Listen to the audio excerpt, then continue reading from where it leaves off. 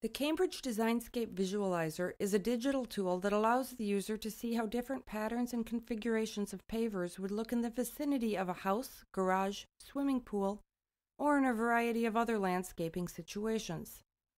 A photo of a property is loaded into the program, which can then be used to create a 3D image complete with digitally generated Cambridge pavers.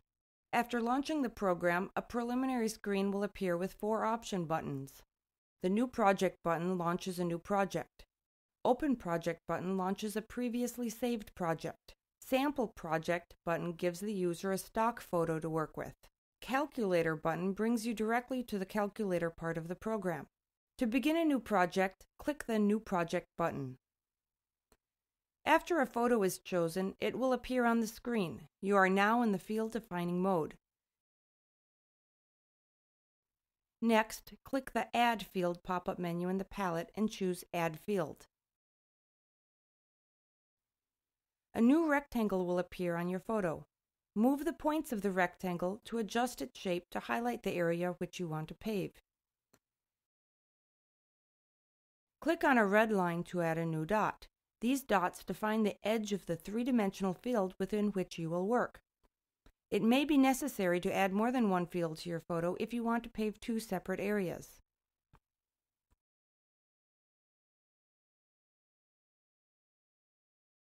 Click the Pattern tab. To change the scale of the pavers in the photo, use the Scale slider. To rotate the pavers within the field, use the Rotation control. To change the pattern from the default setting, click on the button directly above the image of the pavers in the palette window. A pop-up menu will allow you to choose other paver patterns by number. After you have chosen a pattern, click on the image in the palette. A pop-up menu listing possible colors will appear. Choose a color. Your color choice will appear in both the palette and the photo. To add a border to your field, use the pop-up menu to choose a paver for row 1. Up to four rows can be added. The color of the border can be manipulated in the same manner as the rest of the pavers in your field.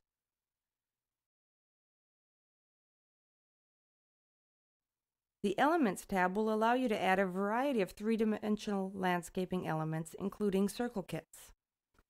Use the Add Element button to add an element to your photo. The final tab, labeled View, controls several tools designed to adjust some of the subtle visual aspects of the photo.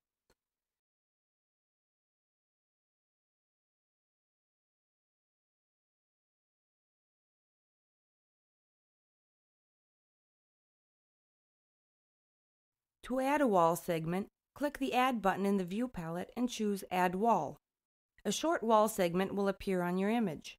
Move the points and add new points just like when you are manipulating the paver field. Click on the image in the palette. A pop-up menu listing possible colors will appear.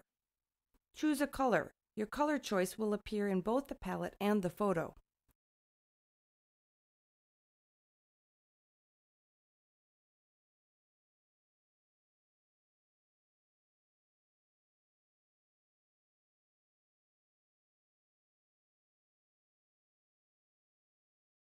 Click the 2D tab at the top of the document window. This will bring up a view of the paver patterns you have used in your project. This view is useful for previewing the pavers during the color selection and pattern selection process.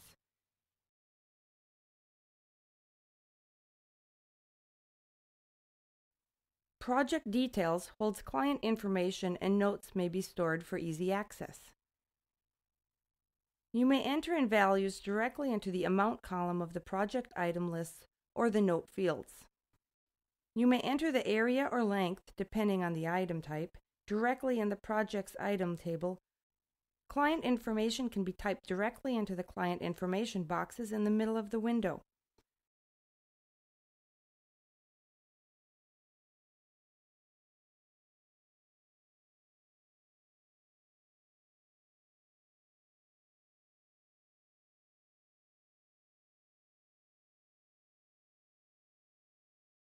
Finally, any notes about the project may be typed into the Notes box at the bottom of the window or added to an individual item in the project items list.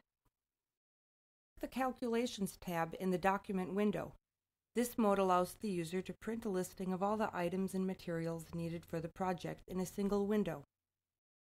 You may also use the calculator without the visualized part by clicking the Calculator button at the startup of this program.